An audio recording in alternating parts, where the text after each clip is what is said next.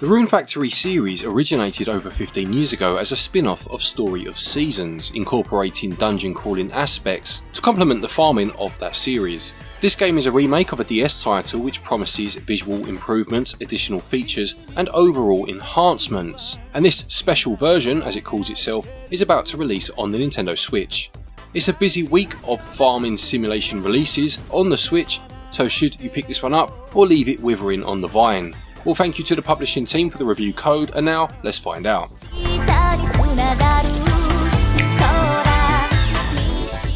In terms of the story, you play as a young man named Micah who has the ability to transform into a woolly, a golden sheep-like creature. After a mishap that leads him to fall into Sharance, a provincial town, a young woman comes to his rescue. Micah wakes up with no memory of his past and is immediately drawn into a long-standing feud between humans and the Univir races. In order to bring back peace, Micah must work hard to create understanding between the different factions while simultaneously uncovering a personal truth and regaining his memory.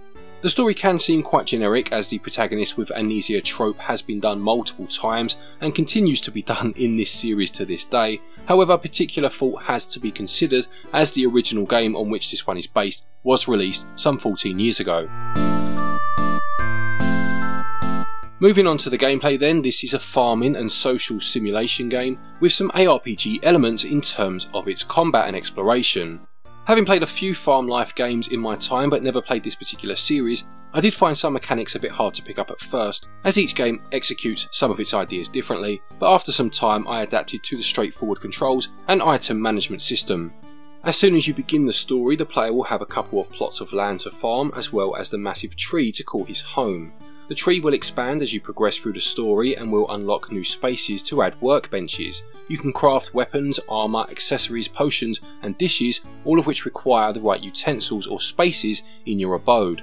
However, blueprints and recipes need to be unlocked by purchasing and eating special bread within the tavern.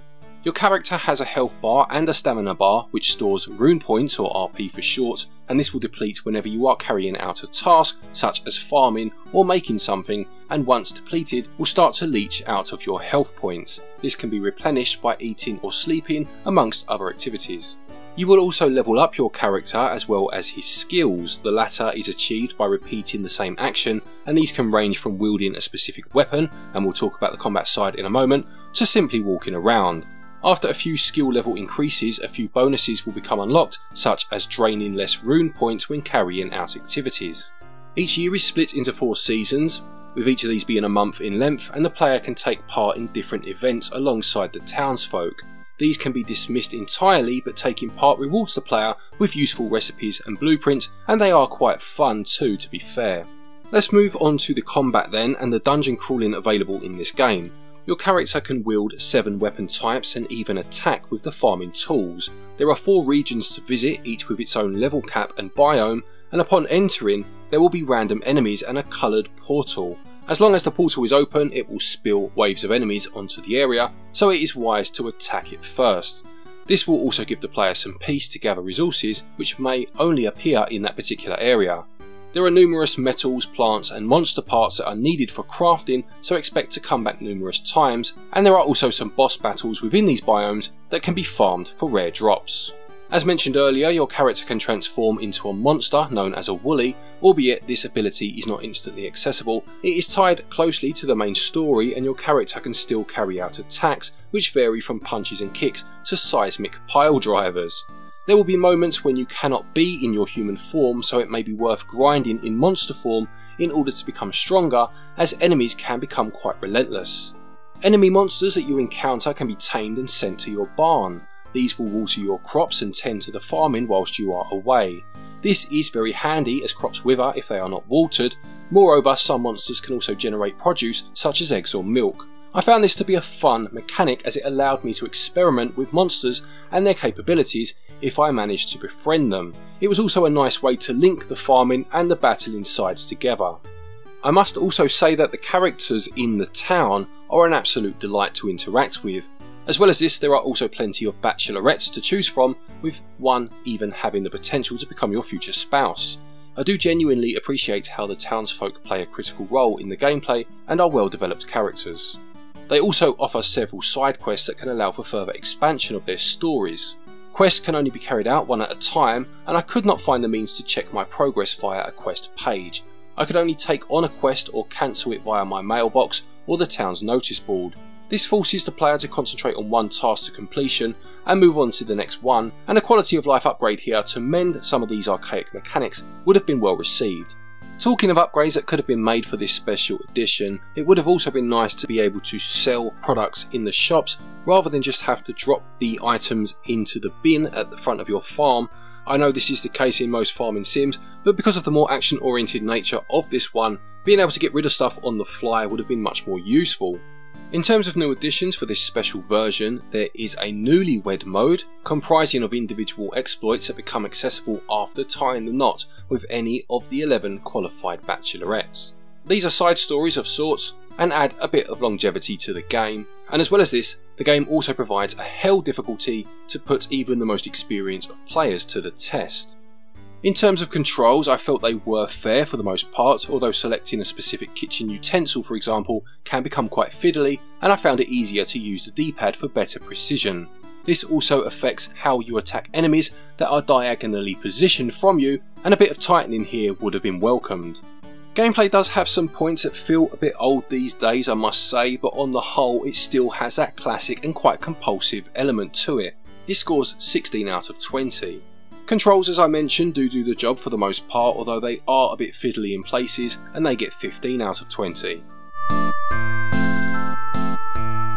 Moving on to the visuals then and the main highlight for me was the animated intro and the beautifully illustrated environments. They are truly an upgrade from its DS root and preserve much of its original style.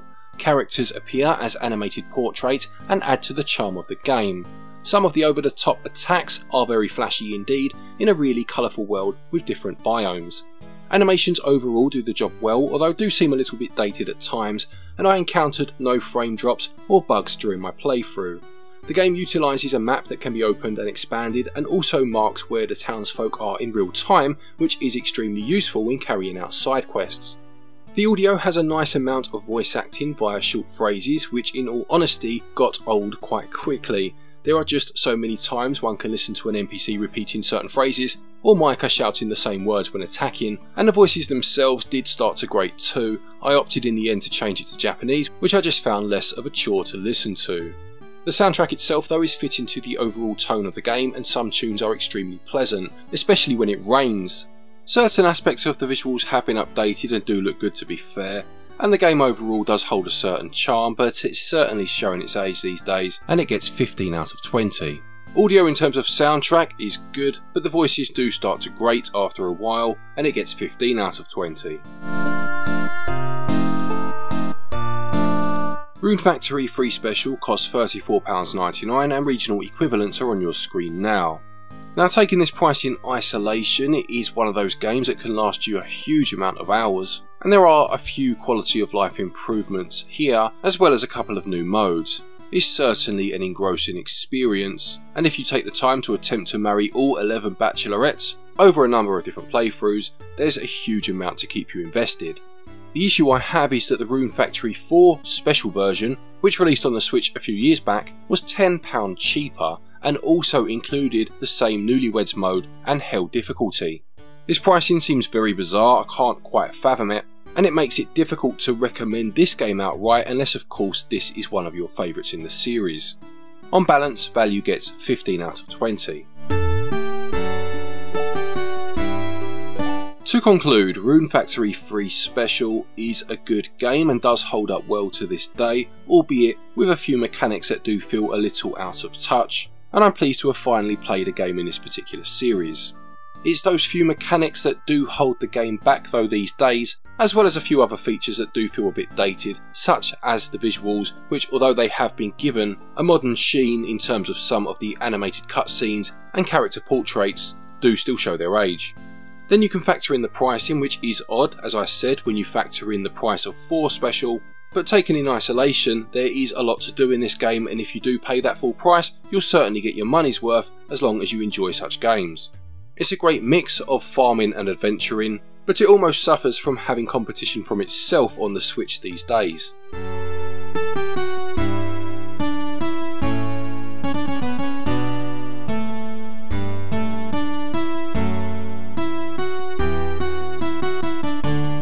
Rune Factory 3 Special gets a Switch Up score of 76%. Thank you very much to Azdin from Grinning Wolf Games for writing this one for us. Please do check out his channel, there will be a link to it in the description. And don't forget if you are looking for eShop credit to pick this game up, or any other for that matter of course, you can get your eShop cards via our website switchup.gg. Doing so will earn you cashback via our SwitchUp tokens, 5% of your purchase price, and you can then of course use this against future purchases.